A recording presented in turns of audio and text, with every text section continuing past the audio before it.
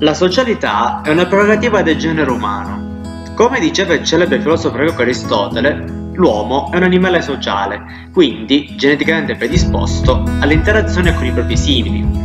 Questo concetto si è evoluto insieme al progredire dello sviluppo tecnologico e sociale del genere umano, dai caffè letterari alle chiacchierate mondane per poi trovare una forte svolta con l'arrivo dei computer. Tramite la connessione ad internet e le reti mobili è possibile comunicare in ogni dove e in ogni istante con persone di tutto il mondo e, con l'avvento dei social network, si è creata una piazza digitale in cui mostrare le proprie foto, i propri video e i propri interessi personali. Guardando indietro si prova un po' di nostalgia di quella socialità più genuina, ma guardando avanti c'è anche tanta curiosità di quanto essa possa diventare più veloce ed efficiente.